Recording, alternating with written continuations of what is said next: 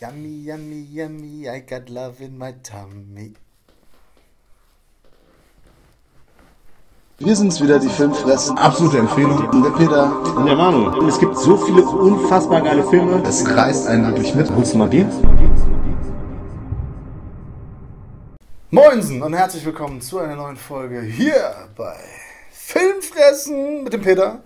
Der Manu. Der trinkt ohne anzustoßen. Unverschämtheit. Und wir besprechen heute eine aktuelle Zombie-Rom-Com, die in den Kinos läuft. Richtig. Oder lief in manchen Spezialvorstellungen. Und zwar Yummy. Yummy. Sehr lecker, oder? Ja, kommen wir noch zu. Du hast den auf dem Fantasy Filmfest Nights gesehen Korrekt. und ihn mir empfohlen. Hast gesagt, man muss dir unbedingt im Kino angucken, wenn du die Möglichkeit hast. Ich habe es anders formuliert, aber ich habe ihn dir tatsächlich empfohlen. ja, hast mir empfohlen. Und dann, ich bin deiner Empfehlung gefolgt, Und hast es bereut. bin ins Kino gegangen und habe diesen Film, ich musste ihn synchronisiert schauen, auch. Ja, ist ja nicht mein, äh, nicht mein Verschulden. Darüber wird noch zu reden sein. und habe ihn mir angeschaut. Sag mal so, deine endlose Begeisterung Wollen wir mal nicht übertreiben? Kann ich nicht ganz teilen. Aber sollen wir vielleicht erstmal sagen, worum es geht? Ja. Und dazu möchte ich kurz sagen, ich passiert? habe gesagt, es war die Überraschung des Festivals. Okay. Ja. Weil du nichts davon erwartet hast. Äh, nee, weil ich den, weiß ich nicht, wieso. Oder, also, da bin ich mal sehr gespannt, wie das Festival sonst so war. Stimmt. ja. Kannst du sagen. Was passiert denn bei Yummy? Ja, also erstmal, du hast ein Wort benutzt, das falsch ist. Das wundert mich jetzt, dass gerade du das sagst. Ach so, weil es sind keine Zombies. Ja. Ja. okay, weil die nicht wirklich. Ja, es sind Infizierte. Es sind Sterben die Infizierte. nicht? Nein, das siehst du an dem einen äh, Doktor. Der das stimmt. Blut, äh, Stimmt. Ja, ich hatte auch überlegt, während ich den Film geschaut habe, Ja. ähm, ob es dann Zombies sind oder nicht, weil der wird nämlich immer als Zombie-Komödie ja, und das überall Problem ist, angekündigt. Und eigentlich sind es nur, nur Infizierte. man kann jetzt ja auch sehen, wie man möchte. Also ich kann damit auch leben, wenn man das als Zombie-Film bezeichnet. Das ist für mich okay. Okay. Daran will ich mich jetzt nicht äh, aufhängen. Es ist so, dass eine junge Dame mit sehr großem Brustumfang Mhm. in eine Klinik, ist das in Russland? Ja, ich meine, äh, aus? Europa. Osteuropa. Ah, ja. Äh, Ukraine oder sowas. Alles ab Berlin ist UdSSR, weißt du? So sagen wir in Berlin, wa? Ähm, Sie kann ja. es sich zu Hause nicht leisten, deshalb geht es in Osteuropa. Das ist halt günstiger, um sich halt die Brüste zu verkleinern. Und Genau. wieso? Weil sie zu groß sind. Nee, wegen Rückenproblemen. Ach so, ja, sagt sie zumindest. Ja. Und mit dabei ist ihr äh, noch nicht äh, ihr Freund, Trotteliger ihr genau, ja, Freund, noch nicht Mann. Ja, ihr Freund und ihre Mutter. Stimmt. Und die Mutter hat schon sehr viel an sich äh, rumschnibbeln lassen, Ja. äh, wie man sieht, die Nase auf jeden Fall und äh, ich glaube die Lippen auch, die Brüste und so weiter und so fort. Also die ist halt schon so ein äh, kleines Teilelager, Ja. ähm, mobiles. Mm, Nichts dagegen, ne? soll ja jeder machen, wie er möchte. Ähm, das wird nur thematisiert auch in dem Film. Ja. Da fahren die auf jeden Fall in diese Klinik. In dieser Klinik werden so, wird so Stammzellenforschung, äh, höchst illegal, natürlich betrieben. Und da geht natürlich irgendwas schief und Patienten, Patientin Null kommt frei durch den tollpatschigen Freund eben, Ja, natürlich. der nur helfen möchte. Und dann bricht so diese Pandemie, Epidemie In halt dem- aus.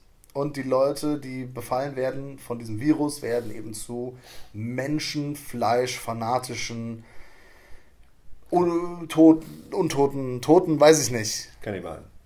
Viechern. ja, und dann Fressen sich durch die Klinik. fressen durch die Klinik und unsere Gruppe der Hauptfiguren muss dann da raus. Genau. Und die kämpfen sich dann halt quasi durch diese Zombie-Apokalypse. Ja. Und, ja.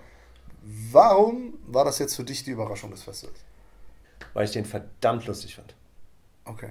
Von der ersten Minute an. In welcher Sprache ist er im Original? Englisch oder Französisch? Flämisch?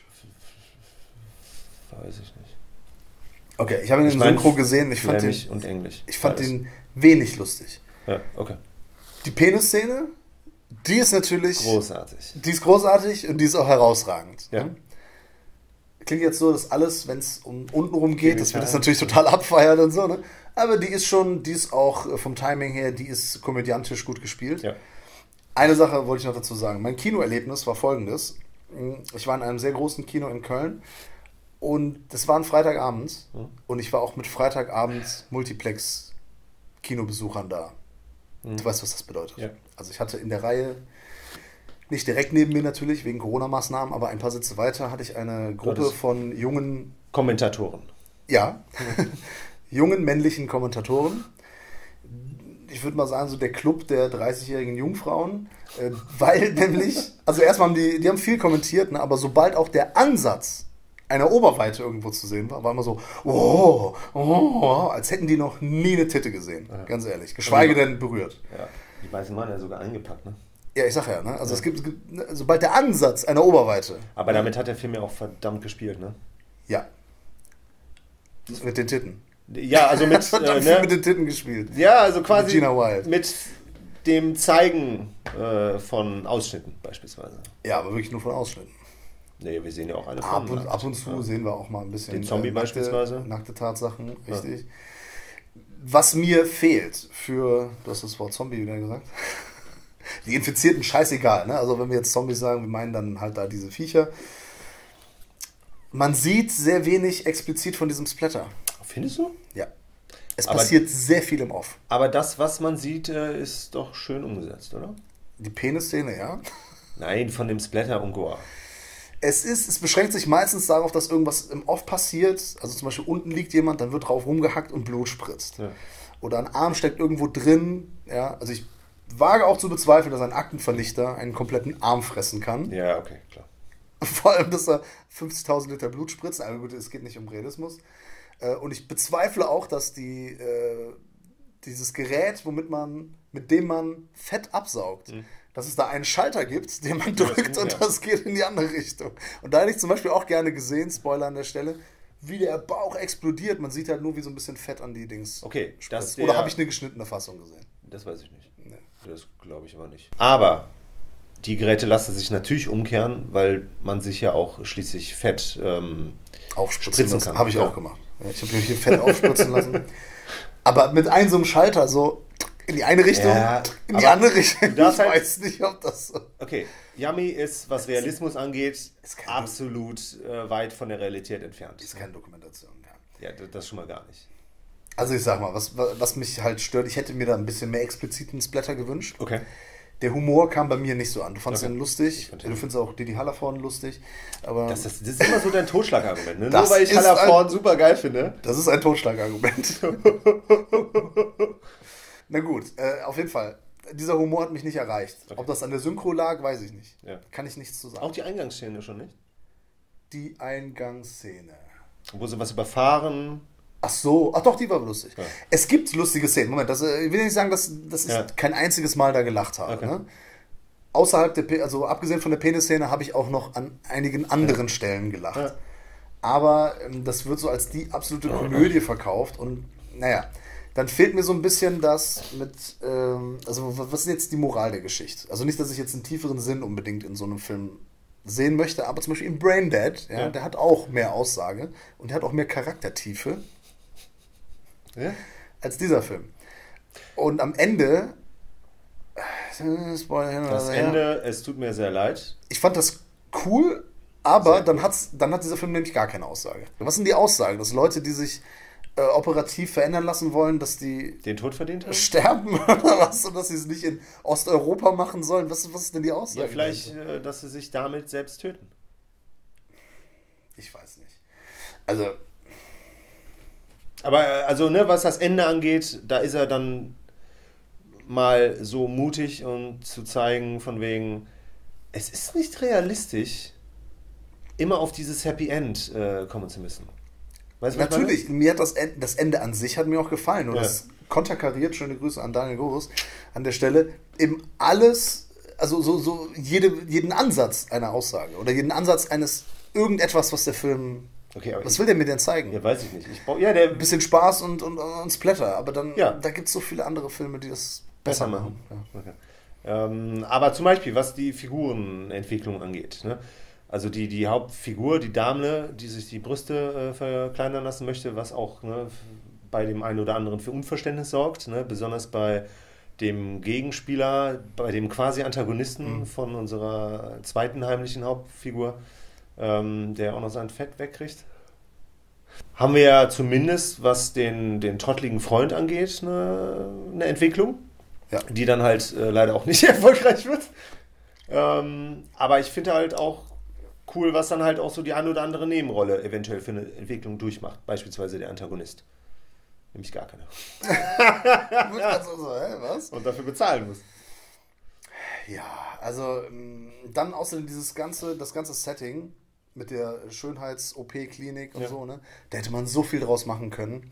Noch dass mehr. man, ja, dass man nicht einmal sieht, wie irgendwie so ein Brustimplantat rausgerissen wird oder irgendwie wie so, wie so aufge, äh, aufgespritzte Lippen platzen oder sowas. Aber es geht ja um den Splatterspaß. Und da, Punktet er äh, nicht. wie gesagt, ja, also ich finde den solide. Ja. Das ist ein solider Film. Und im Kino, ja, macht auch Spaß. Und sicher, wenn man da mit ein paar Leuten ist, äh, die jetzt nicht gerade wie diese komische Männergruppe neben mir ist, dann Ja, ist das auch lustig, glaube ich. Ich weiß nicht, wie war, wie war die Stimmung beim Fantasy Filmfest bei den Nights? Ja? Sehr gut, ja. Der ist äh, gut angekommen. Mhm. Also wir hatten alle unseren Spaß. Das war aber auch der einzige Film auf dem ganzen Festival. Nee, Der so von, leichtfüßig von war? zweien. Okay. Genau, leichtfüßig und vor allem halt auch äh, ja, quasi eine Komödie war. Ich habe auch danach keinen gehabt, der sich nicht positiv dazu geäußert hat. Also, es ist keine Katastrophe. Ich würde, äh, also wenn ihr Möglichkeit habt, den im Kino zu sehen, geht rein. Aber er ist nicht äh, ne, von einem Kaliber wie Eines es- Braindead? Eines Braindeads zum Beispiel. Ja gut, aber ich vergleiche jetzt auch nicht unbedingt jeden Horrorfilm mit einem Shining, ne? Kann man aber machen. Ja, kann man machen, klar, aber dann würde ich halt quasi jeden äh, Ja, abraten, du weißt, was ich meine. als Orientierung für die Ja. Leute. Ne? Also erwartet nicht zu viel. Genau, das ist halt auch die Sache. Ne? Ich bin auch mit absolut keinen Erwartungen äh, an diesen Film rangegangen. Du hattest ja zumindest die Erwartung, du hattest eine äh, quasi Empfehlung von Ja. mir und damit war deine Erwartung jetzt halt auch schon Ja. vor allem erstmal da. Ja, genau. Ja. Das ist halt vielleicht dann auch das, was das dann, was das äh, Erlebnis dann auch ein bisschen ernüchternder Ja. gestaltet hat. Es ist kurzweilig, äh, Ja. solide, aber da fehlt mir so zum, so zum Kult-Hit, sag ich mal. So wirklich Mhm. Fleisch. für, für einen Film, den man äh, regelmäßig mal auf einem Videoabend zeigt. Mhm. Ähm, da fehlt mir dann was. Dann lieber nochmal From Dusk Till Dawn oder Braindead und so solche Geschichten. Okay. Oder Evil. Ed oder Evil Dead 2 oder so. Das sind eher so die Partyfilme. Okay. Yummy ist okay. Aber wie gesagt, falls ihr Möglichkeit habt, im Kino zu gucken, meines Erachtens, schaut ihn euch an. Ja, ich sag auf jeden Fall anschauen. Und äh, Spaß haben. Gut, Peter, für die Worte muss ich dir Dank sagen. Und auch mit dir anstoßen. So sieht es nämlich aus.